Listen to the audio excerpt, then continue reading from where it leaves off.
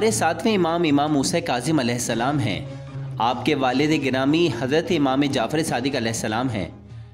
हज़रत इमाम मूसा काजिम अलैहिस्सलाम के अलक़ाब। इमाम अलैहिस्सलाम अपने गुस्से को काबू में रखा करते थे, इस हद तक कि जब आपको अंधेरे ज़िंदान में जहर दिया गया तो आप अलैहिस्सलाम ने गुस्से और तकलीफ़ का इजहार न किया, बल्कि खुदा का शुक्र अदा किया। इसी वजह से आप अलैहिस्सलाम का लक़ब काजिम है। जिसके मानी है गुस्से पर काबू रखने वाला। खलीफा हारून रशीद। खलीफा हारून ने अपने दौरे खिलाफत में बगदाद को मालो दौलत व ख़जानों से मालामाल कर दिया था। इसने अपने आप को दुनिया की रंगीनियों में गर्क कर दिया था। मसलन मौसीकी, गाना बजाना और शराब नोशी वगैरह। इमाम मूसा काजिम ने हारून को इन हरकतों से बाज रखने की हर मुमकिन कोशिश की। आप लोगों से कहते थे कि हुकूमत का साथ न दें। आपकी ये कोशिशें आपकी सफ़वान के साथ बातचीत से बखूबी वाज हो जाती हैं कि जब इमाम अलैहिस्सलाम ने सफ़वान को हारून रशीद को ऊँट फ़रोग करने से मना फरमाया। हारून ने कई बेगुनाह और मासूम शीयों को सिर्फ़ इस बिना पर कत्ल कर डाला कि अमीरमिन जनाब अली अलैहिस्सलाम और बीबी सैदा की औलाद में से हैं। इमाम मूसा काजिम क़ैद में। अपने दौरे इमामत में इमाम अली मकाम को मुसलसल अब्बासी खलीफा के दरबार में हाज़िरी के लिए बुलाया जाता और किसी न किसी बहाने कैद कर लिया जाता। जब हारून को इमाम अलैहिस्सलाम की शोहरत का इल्म हुआ तो उसने इमाम अलैहिस्सलाम को गिरफ़्तार करके इन्हें कैद कर लिया।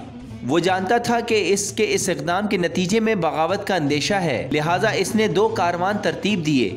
एक को कोफा रवाना किया, जबकि दूसरे को बसरा। हारून ने यह इसलिए किया ताकि लोग ये ना जान सकें कि इमाम अलैहिस्सलाम को कहाँ कैद किया गया है और लोगों को गुमराह कर सके। इमाम अलैहिस्सलाम ने अपने आप को इबादत इलाही में मशगूर कर लिया। आप दिन में रोज़ा रखते और रात भर अल्लाह की इबादत करते। आप अलैहिस्सलाम के कुछ साथी आपसे खुफिया तौर पर मुलाकात करते। वो आप अलैहिस्सलाम से इल्म हासिल करके लोगों को दीनी, मजहबी व साइंसी उलूम से आगाह करते।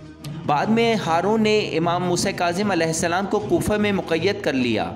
यहाँ का निगमान सिंधी इंतहाई चालाक और मक्कार था। हारून ने अपने आदमियों को हुक्म दिया कि इमाम को नहायत कलील मकदार में खाना मुहैया किया जाए। लिहाजा आप अलैहिस्सलाम को रोटी का एक छोटा सा टुकड़ा और चंद घूट पानी दिए जाते। इन सब मुश्किल के बावजूद इमाम मूसा काजिम अलैहिस्सलाम इंतहाई सब्र ज़ब से काम लेते। एक मशहूर व मोतबर रिवायत के मुताबिक हारून रशीद ने चंद ताज़ा खजूरें ली और इसमें इंतहाई कारी जहर भर दिया।